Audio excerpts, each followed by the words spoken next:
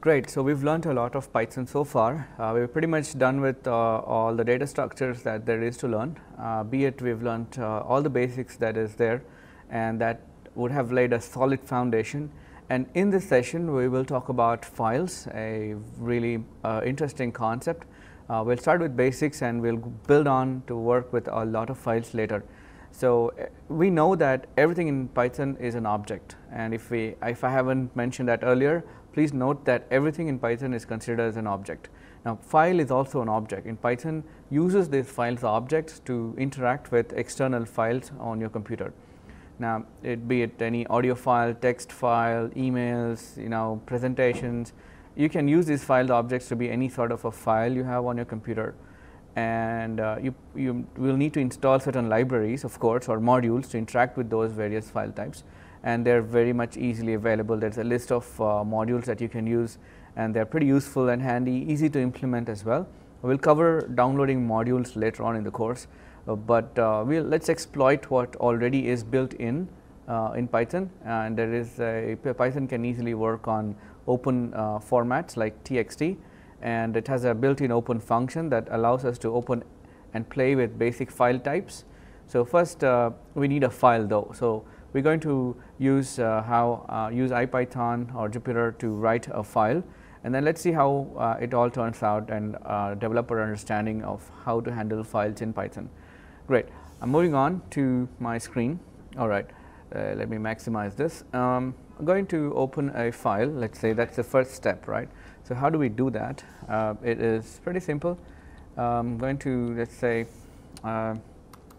suggesting this with uh, let us say I am going to add write file and this is a, a simple function that allows us to write a file and say test.txt and this will get me to create a file called test.txt and then say I am going to put some words uh, this is some text for my file and let us see what happens if uh, I run this.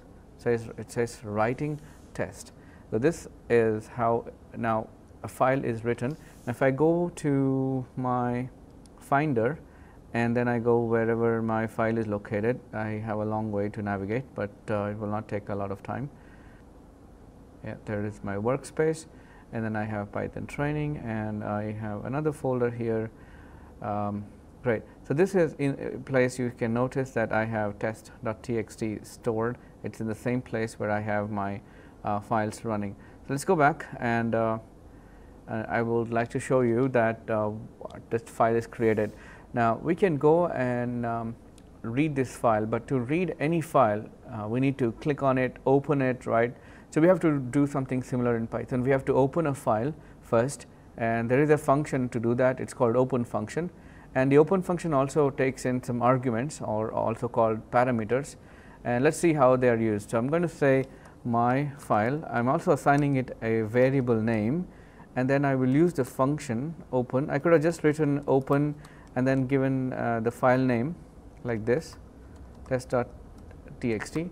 Uh, this also would have opened it, but what do I do with it next? So, to do to handle that I have created a variable and I have assigned it a value so that I could run this function and uh, retain that uh, in memory that or keep the file open in memory of Python and then once we open the file the next obvious method is to read correct.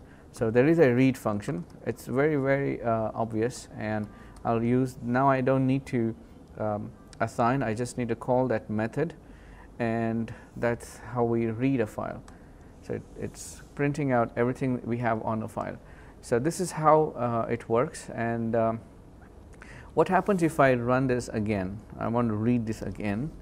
Notice that uh, you got just two uh, cursor, two uh, uh, semicolons here, single quotes because it happens you can because you can imagine that you're reading a book and there is a reading cursor and that goes to the end of the line uh, of the file after having read it. So, there is nothing left to read and it's come to the end and it, it we need to reset that cursor back. So, that is something we need to do and it is done by the seek method.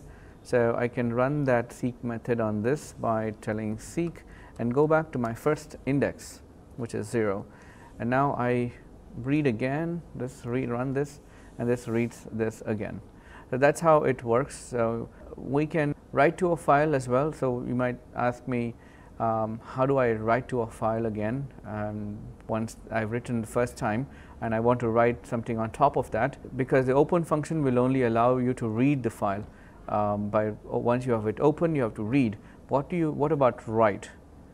Great. So the great question. Uh, to be able to write, we need to sort of first give it permission to write. So I will take my file and I will open it. Okay, and it's I will say which file I want you to open. Then I say give permission, make make it writable. So when I do this, I will be able to write uh, files into this. So this is very uh, fairly simple. And then after uh, this is done, I will use a write function. And in this, I will say this is a new line of text.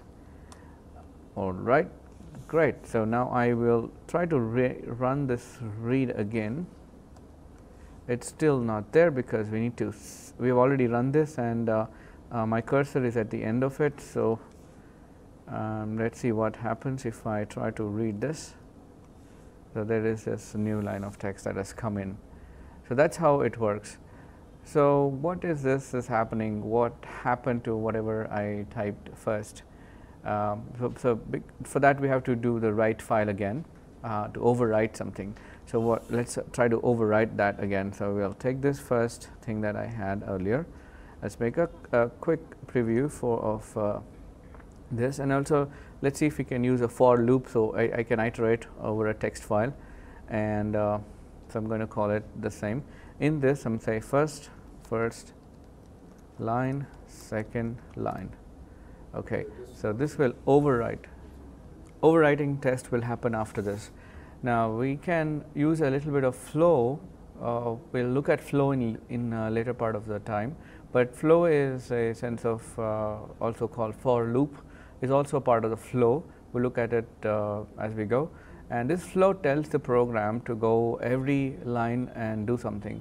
Uh, let us say for uh, every line in my file which is open, I will use it under open and I want you to hey Python, I want you to print whatever is in the line. So, I want you to print each line and eh, okay, it says missing parenthesis and it says, uh, so it is printing the first line and the second line that way.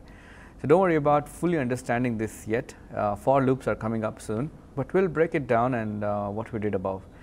Now, we said that every line in this text file and they said go ahead and print that line. Uh, we could have called the line object anything. So, I can take this same thing and I will say I can call this uh, James Bond and this is also James Bond and I print this it is still printing this.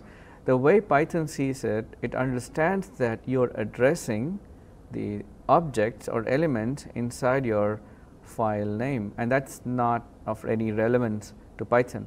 What is most of relevance is that the for loop in open function and print these are really important by not calling read on the file um, like earlier that we did here we are actually reading the file by using the for loop and this way the text file is not stored in memory. So, know that memory storage is, is sometimes really costly. So, that is one way of reducing your time of execution of your uh, program and helping you execute faster using flow control. And uh, there is also notice that there is a indent on the line for uh, this and there is also a parenthesis for the print and this uh, white space is required there is this indent in the second line right after the colon. So, if I put this here okay let us see that as an example. If what happens if I take that indent off? White spaces are very important. And if I take this it says expected an indent block. And that is uh, really bad. So, that is not right way of syntaxing. So, if you are using a good IDE it should automatically do this for you. Otherwise you will get these error. And uh, Python makes use of these white spaces a lot. And you can see uh, as we go. And we learn a lot about this. Great. And um, finally um, let us uh, do one more example uh, in this uh, if you'd like to just uh, try this out on your own, create a text and uh, create another text file. I'm not going to show a solution to this, but this is just for you to practice. Create another file, uh, put some text in it and try to use the for loop to print just like this and see what happens. And it's important for you to try this out. Next up, let's uh, learn about uh, sets and booleans and I see you in the next class.